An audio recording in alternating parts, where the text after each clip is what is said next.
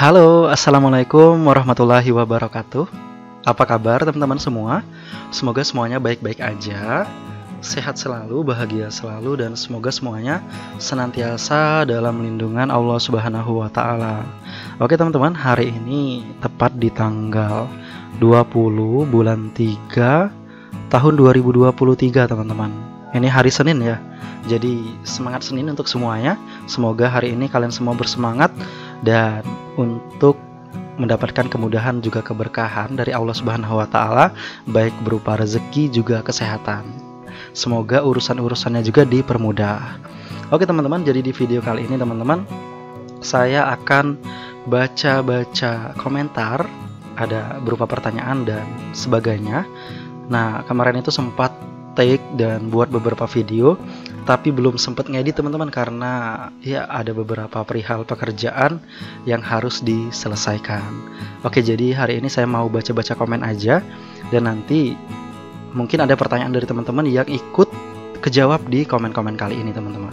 Oke, sekarang kita langsung aja ke monitor dan kita akan baca-baca komen dari teman-teman yang udah komentar. Oke. Jadi teman-teman ini maaf banget ya kalau ada teman-teman yang bertanya mungkin sejak tiga hari yang lalu, empat hari yang lalu, dan ada lima hari yang lalu yang ini belum saya sempat balas teman-teman ya. Maaf banget karena beberapa kesibukan pekerjaan membuat saya kurang aktif untuk membalas komentar dari teman-teman. Tapi di sini di video kali ini semoga semuanya bisa kebalas teman-teman ya. Oke jadi kita mulai aja dari yang paling atas teman-teman yang paling baru ini ya pertanyaannya. Eh bukan pertanyaan sih ini Kalau saya baca di sini ada dari ini Mas apa Mbak ya atau kakak aja deh. Jadi ini dari kakak Prime. dari kakak Prime ini subscriber ke channel Anda sejak secara publik sejak tiga tahun. Oke, makasih untuk kakak Prime yang udah subscribe ke channel kita sejak tiga tahun yang lalu ya. Jadi ini teksnya teman-teman. Katanya worth it bukan work it WK WK WK. Oke, makasih banget untuk Bang Prime yang udah kasih masukan ya. Ya maklum aja Bang, karena saya ini hmm, aslinya bukan orang Inggris, tapi aslinya orang Lubuk Linggau. Lubuk Linggau Indonesia ya, tapi orang Indonesia. Jadi mungkin juga keterbatasan pengetahuan saya. Jadi saya itu sering ngomongin worth it ini dengan work it. Jadi ya udah saya mohon maaf karena itu kesalahan saya banget. Insya Allah ke depannya saya akan benerin kata-katanya menjadi worth it. Gimana ya bacanya? Worth it atau worth it atau worth it? Oke, pokoknya makasih banyak untuk Bang Prime. Sehat selalu Bang. Makasih banyak atas masukannya. Dan di sini di bawah lagi ada Bang Prime lagi masih ini cetaknya jadi kebalik WKWK. Oh ini sebenarnya video. Coba kita lihat teman-teman ya. Ini video kami beberapa waktu dulu ya. Ini kayaknya udah lama banget sih ini tentang cetak 500 undangan pernikahan dengan printer Epson L565. Ini video udah lama banget teman-teman ya. Jadi di sini sepertinya ada proses pencetakan yang kurang bener ya. di sini juga saya mohon maaf lagi deh sama Bang Prime, tapi ini kayaknya nggak kebalik sih Bang. Di sini juga nggak bikin tutorial, tetapi ini cuma bikin vlog aja. Ya, tapi kalau mungkin ada cara yang kurang-kurang dan salah di dalam videonya saya juga minta maaf sama Bang Prime. Mohon maaf banget. Makasih Bang Prime. Mungkin nanti di next kesempatan kita koreksi kesalahannya dan kita perbaiki. Dan lanjut di sini ada service center dan percetakan gebang. Oke jadi ini admin dari service center dan percetakan gebang. Driver software-nya gratis ya Pak. Ini untuk cara potong stiker menggunakan mesin cutting stiker Silhouette Cameo 3 oke untuk Silhouette Cameo 3 ini untuk Bank Admin Service Center dan percetakan gebang ini softwarenya gratis ya. Dapat langsung dari dari websitenya. Websitenya itu tinggal dicari aja di Google Silhouette Cameo 3 driver Silhouette Cameo 3 nanti biasanya akan muncul dan bisa langsung kita download di shop di website tersebut. Oke seperti itu ya Oke, lanjut. Di sini ada Mbak Deska Levisya. Bang, minta link buat install Photoshopnya dong. Oke, untuk install-install software-software ya. ini bisa kita cari di mungkin bisa di website ini ya kuiha nah ini mungkin Mbak Des Deska ya Mbak Deska bisa cari di kuiha.kuiha apa ini stripme.com Oke, okay, maaf ya belepotan teman-teman. Oke, okay, nah tinggal cari di sini sih biasanya. Kalau mau di sini biasanya lengkap dengan cracknya juga ya. Biasanya lengkap di sini teman-teman. Kalian bisa download. Dan untuk cara downloadnya bisa dipelajari juga. Biasanya ada keterangan dari admin kuiha.me ini teman-teman. Ini juga ya ada Adobe Photoshop 2023, Ya, bisa dicari di sini ya untuk Mbak Deska. Oke. Mungkin kita lanjut ke pertanyaan selanjutnya. Di sini ada Mbak Heni Mutoharo. Punya saya tidak bisa menampilkan mode nama printer, Mas. Apa masalahnya? Mode nama printer untuk was the inkpad full. Ini kalau tidak salah cara reset printer Epson. Oh, ini ADJ Pro kalau nggak salah ya. Oke, kalau nggak bisa nampilin nama mode printer, coba cek lagi koneksi USB-nya ya, Mbak ya. Mungkin koneksi USB-nya kurang tersambung, jadi printernya nggak kebaca. Bisa dicek lagi ya koneksi USB-nya. Mungkin aja kurang terkoneksi dengan baik. Oke, seperti itu ya, Mbak. Dan lanjut di sini, Mas Tapin Syafril. Bang, kalau cetak foto di kertas silky tahan lama, nggak luntur, Bang. Apa perlu dilaminasi lagi biar lebih awet? Sebenarnya kalau kalau nggak dilaminasi sudah cukup baik ya. Tapi kalau pakai tinta original itu biasanya lama kelamaan meskipun dibingkai akan menguning seperti itu teman-teman menguning atau memudar seperti itu ya. Tapi baiknya kalau mau cetak foto di bahan kertas silky sepengalaman saya ada beberapa foto yang saya cetak dengan tinta art paper. Itu udah setahunan atau bahkan lebih mungkin bisa lama banget ya itu bisa tahan. Apalagi kalau ditambah dengan laminasi laminasi dingin atau laminasi panas ya. Itu bisa lebih tahan lama teman-teman. Jadi lebih bagus. Mungkin seperti itu ya bang menurut pengalaman saya. Mungkin ada teman-teman lain yang bisa menambahkan kalian bisa tambahkan ya. Tinggal balas aja untuk bang Tapin Syafril. Jadi seperti itu bang ya. Dan lanjut ini. Kenapa nggak pakai kualitas high bang? Oke ini untuk cetak foto pakai printer inkjet dengan hasil profesional. Oke, kenapa nggak dipakai kualitas high? Ya, karena di kualitas standar menurut saya, Bang, ini udah cukup bagus. Jadi saya nggak harus ke kualitas high karena itu cukup menekan dan biasanya buat head printnya jadi kurang awet. Jadi saya pakai saya menggunakan kualitas standar aja. Oke, seperti itu. Dan lanjut di sini Goib Nusantara Channel Punya saya kok lama disetujui info pajak Amerika bang. Udah 3-4 hari masih ditinjau. Oke Oh ini masalah cara kirim info pajak Amerika Serikat. Oke ini ya bang. Ini mungkin karena lama ditinjaunya Karena untuk peninjauan biasanya via YouTube itu teman-teman. Itu bang. Biasanya menggunakan admin yang manual seperti itu bang ya. Bukan admin otomatis komputer jadi misalnya admin manual itu maksudnya orang beneran. Jadi kita itu akan ada di antrian tertentu yang mungkin belum sampai ke antrian kita. Jadi akan cukup lama untuk sampai giliran kitanya. Jadi ditunggu aja dan sabar aja bang. Mungkin nanti akan sampai gilirannya abang, nanti akan disetujui. Oke seperti itu ya kurang lebih. Ini ada lagi, oh ini sama seperti tadi ya. Dari service center dan percetakan gebang lagi. Yang belum saya balas ya, maaf banget ya bank admin service center dan percetakan gebang karena ternyata udah beberapa kali komen dan belum sempat saya bales. Oke, jadi jawabannya sama seperti tadi ya. Oke. Dan lanjut lagi di sini ada RDC 13. Bang, aku pakai printer Epson L6190, udah jalan satu tahun lebih bang. Kini aku ganti tinta art paper Sandura. Pertanyaannya, kuat nggak bang printer Ambo tuh, oh ini sepertinya orang Ambo, orang Bengkulu ya, atau orang Padang. Sekarang orang Bengkulu sih. Bengkulu atau orang Curup nih ya. Salam-salam untuk Bang RDC 13 yang ada di Kabupaten tetangga ya. Kuat dak Bang printer Ambo tuh cetak 1500 undangan custom. Kalau pakai tinta art paper untuk cetak di bahan art paper misalnya dengan custom sampai 1500 sebaiknya jangan bang karena ya mungkin aja sih kuat. Tapi saya sendiri nggak berani coba karena kan biasanya kalau kita cetak di bahan art paper itu kita menggunakan mode glossy seperti itu bang. Jadi itu lebih nekan dan biasanya lebih cepat untuk merusak head sebaiknya tidak ya. Sebaiknya kalau buat undangan custom di printer menggunakan kertas jenis plain aja itu sepertinya lebih aman. Jadi kalau untuk cetak-cetak undangan custom yang di bahan art paper atau construct itu mungkin bisa menggunakan mesin digital printing atau mesin offset aja. Oke seperti itu ya. Itu sepengalaman saya ya bang. Jadi mungkin ada teman-teman yang bisa kasih masukan untuk Bang RDC 13 kalian bisa sematkan di kolom komentar dan balaskan aja ya. Oke. Dan lanjut di sini ada Bang Sam Lebing. Oke. Mantap sekali mas. Terima kasih atas idenya. Oke ini untuk Tutorial cara membuat foto card menggunakan bahan PVC ID card. Oke, okay, oke. Okay.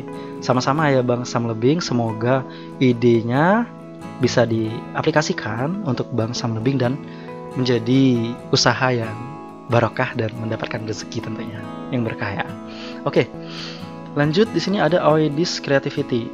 Kalau gini gimana ngatasinya, Mas? Oke, ini video YouTube ya. Oke, untuk cara mengembalikan channel YouTube yang disuspend atau dihapus. Oke maaf untuk Bang Oedis Creativity Sepertinya saya nggak bisa nampilin link videonya ya Karena saya takut kena suspend lagi karena membuka video orang lain ya. Mungkin nanti akan saya saya tonton dulu Nanti saya akan coba untuk pelajari Untuk bisa membalas pertanyaan dari Bang Oedis Creativity ini. Oke. Dia lanjut kita ke Bang Iwan SB Jual berapaan itu Bang? Oh amplop amplop THR ini ya. Oh di sini kami jual kebetulan di daerah kami bang. Ini untuk per paknya yang ukuran kecil seperti ini amplop THR-nya seperti yang ada di video ini. Itu per paknya itu sih 10 kalau nggak salah ya. Kami jual itu 12 ribuan bang. Tapi di daerah kami ya menyesuaikan harga bahan di sini. Jadi bisa disesuaikan dengan harga bahan di daerah masing-masing. Oke lanjut di sini ada Bang Petra San CTVM material lemnya sama kayak lem fog nggak min? Oke. Okay. oh ini cara lem cutting ya lem cutting mat lem cutting mat pemotong stiker silat kamu tiga. Nggak nggak sama bang. Beda bang. Jadi dia tipe lemnya itu nggak nggak lengket banget seperti lem box itu ya. Kalau lem box itu lengket banget sampai ya pokoknya kertasnya nyatu banget. Tapi ini nggak cuma dibuat lengket nempel aja gitu bang. Nggak sampai lengket mati seperti itu enggak ya? Cuma nempel aja nempel nempel nempel tipis-tipis gitu bang. Jadi beda ya. Jadi untuk bang Petra mungkin kalau pengen lebih tahu bisa dipesan langsung aja sih. Agar tahu ya banyak dijual secara online lem ginian bang ya. Oke seperti itu ya bang. Jadi di sini lanjut ke bawahnya lagi ada bang Anos S. Makasih ngap. Sama-sama ngap Oke, ini untuk cara reset printer Epson L1300. Oke, sama-sama ya Bang Anos. Dan langsung lagi lanjut ke bawahnya ada Suster Diana. Suster Diana. Oke. Untuk Suster Diana ini pertanyaannya, Bang tutor untuk pembuatan desainnya sekalian ingin belajar. Oke, ya untuk cetak undangan pernikahan ya. Oke, next mungkin ya Suster Diana, kita akan bahas-bahas cara-cara untuk desain-desain undangan custom. Insya Allah. Oke, lanjut ya. Di sini ada Persada Rumah Suki. Oke, di sini ada VLC bagus mas untuk rekam layar. Oh ini ya. Oke, sepertinya ini di video ini saya nggak pakai rekam layar. Oke ya ya ya. Oke, makasih banyak ya untuk Persada Rumah Suki. Udah kasih masukan. Mungkin next saya bisa coba VLC juga untuk rekam rekam, rekam layarnya. Oke. Dan ini ada lagi Persada Rumah Suki masih sama. Bang, ini kan undangan ukuran A4. Ketika di print langsung pakai kertas A4, atau ukuran folio baru dipotong kemudian. Oh ukuran A4 ya ini sebaiknya dicetak di ukuran folio aja kak. Itu untuk kak Persada Masuki. Jadi nanti baru dipotong kemudian untuk bordernya agar pas ukurannya dapat ukuran A4 seperti itu ya. Oke lanjut ke Bang Abdul Rahim Channel Alhamdulillah, terima kasih banyak ya Mas. Semoga berkah ilmunya. Amin. Amin. Makasih banyak ya Bang Abdurrahim Channel. Udah mendoakan. Makasih banyak. Sama-sama ya. Oke. Lanjut di sini bawahnya lagi ada UD doa ibu. Kertasnya menggunakan apa, Kak? Kertas oh ini. cetak undangan ini. Oke, untuk cetak undangan di video ini saya menggunakan kertas BC kak, kertas brief card, BC atau brief card ya. Oke, seperti itu ya. Dan lanjut di bawahnya lagi ada Bang Ripki Dwi Maulana. Bang printer Epson L3110 bisa connect ke laptop HP 14 SFQ 2002 AU Windows 11 enggak?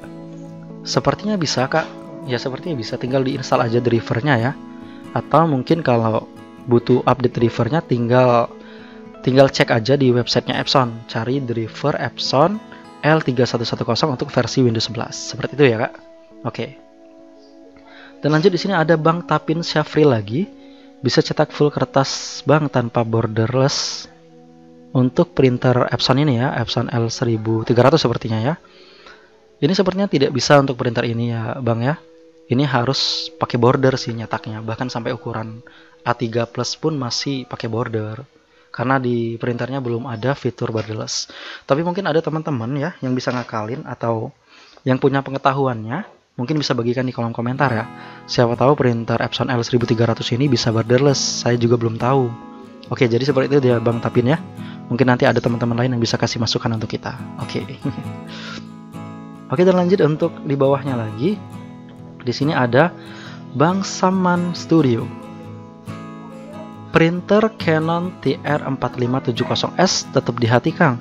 Walau nggak sebandel Epson, Canon TR4570S kelebihannya nggak perlu head cleaning atau jarang banget bahkan nggak pernah. Buat awam ingin punya printer, saya rasa jangan pilih Canon tipe suntik atau isi ulang disuntik. Karena kalau pemula bakalan kerepotan kalau ingin isi tinta.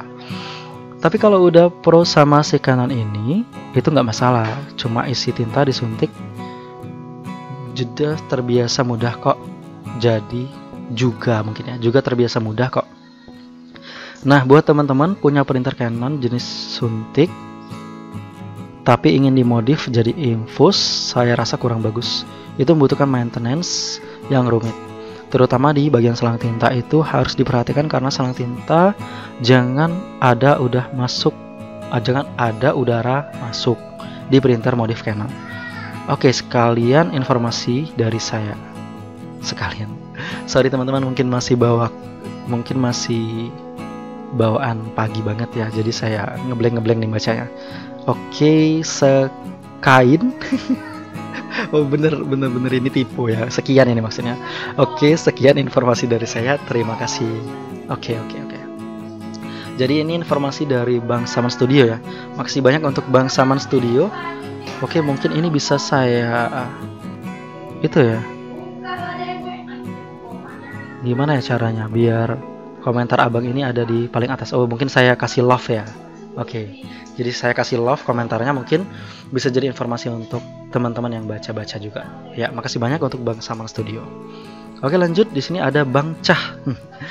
Assalamualaikum Bang, bisa minta filenya buat belajar? Oke. Sepertinya bisa ya, Bang? Bisa ya, Bang? nanti sertain aja emailnya atau kirim aja ke email kami ya bang ya di wipercetakan@gmail.com nanti ngomong aja itu dari bang Cah yang pengen minta file ID cardnya. Oke tinggal dihubungi aja di email tersebut. Oke lanjut di sini. Ada print duit waduh ini namanya print duitnya ini ada ada link YouTube. Saya juga dulu pakai seri L tapi enakan pakai WF dia speednya cepat dan nggak perlu nyetok belangko karena print block juga seri WF cepat itu. Itu contoh videonya. Oh ini contoh video. Print WF ya? Oh sorry. Oh sorry ya bang. Saya nggak bisa buka link videonya. Karena ini nanti akan saya upload dan saya takutnya kena suspend lagi bang. Oke nanti mungkin saya akan tonton ya. Mungkin buat teman-teman yang pengen nonton ini bisa diklik aja linknya biar sama-sama bisa lihat ya. Gimana print block pakai seri WF oke. Makasih ya bang infonya. Oke. Lanjut. Headnya masih aman om. Oh ini dari Bang Riza Guntur Prakoso. Untuk head. Oh Epson L1300 masih aman bang. Kebetulan alhamdulillah masih aman ya. Masih aman dan masih sering dipakai nyetak juga karena masih sering nerima pesanan ya. Oke jadi gitu ya untuk Bang Riza Guntur Prakoso info ya. Oke dan lanjut Bang mau nanya untuk dus atau packaging cocok nggak Bang, kertas art paper 230 GSM. Semoga dibalas. Salam sukses. Oh, untuk packaging sebenarnya cocok sih bang, tapi bukan untuk yang dus yang besar banget ya. Kalau untuk dus yang sedang, yang kecil-kecil aja untuk cindera mata gitu mungkin cocok ya, masih bagus sih. Bagus sih bang, masih lumayan bagus. Tapi bukan untuk dus yang besar ya. Seperti itu ya bang Tutur Studios. Oke, makasih bang pertanyaannya. Oke lanjut kita ke Bang Niki Fotokopi. Harga jualnya berapa berlembar bos? Oke di sini kayak gini. Oh berdasarkan harga bahan di sini teman-teman, ini bisa dimulai dengan harga 2000-an ya, 2000-an bisa ini. Oke kurang lebih seperti itu ya bang informasinya. Dan lanjut untuk Bang Rangga Dana. Min alternatif selain ini ada nggak? Soalnya saya, soalnya printer saya nggak ada di list websitenya. Oh mungkin bisa pakai adjustment program bang, cari aja download ADG proc untuk tipe printer abang seperti itu di Google ya. Nanti biasanya akan muncul sih ada website tertentu yang udah upload untuk resetternya. Oke, kurang lebih seperti itu ya bang. Oke, mungkin nggak semuanya bisa saya baca sekaligus hari ini ya untuk teman-teman semua karena saya harus melanjutkan pekerjaan. Jadi makasih banget untuk teman-teman yang berdiskusi, bertanya via komentar YouTube dan saya juga mohon maaf karena saya mungkin nggak bisa selalu balas tapi saya akan selalu sempatkan balas ya walaupun mungkin balasan saya juga tidak sepenuhnya bisa menjawab pertanyaan dari teman-teman. Saya mohon maaf ya. Dan makasih banget untuk teman-teman yang udah pada subscribe. Oke okay, semoga pembahasan baca-baca komentar kali ini ya bisa menjawab pertanyaan-pertanyaan yang bertanya di sini ya. Dan makasih banyak juga untuk yang udah ngasih-ngasih masukan. Tentunya masukan kalian bisa membuat saya menjadi semakin baik lagi. Oke, makasih banyak untuk semuanya. Mungkin sekian dulu video kali ini. Udah cukup panjang ya. Udah berapa menit nih? 23 menit. Oke, mungkin sekian dulu. Makasih banyak untuk yang udah nonton. Jangan lupa like, share, comment, and subscribe. Akhir kata, saya Wahyu undur diri dari hadapan kalian semua. Wassalamualaikum warahmatullahi wabarakatuh.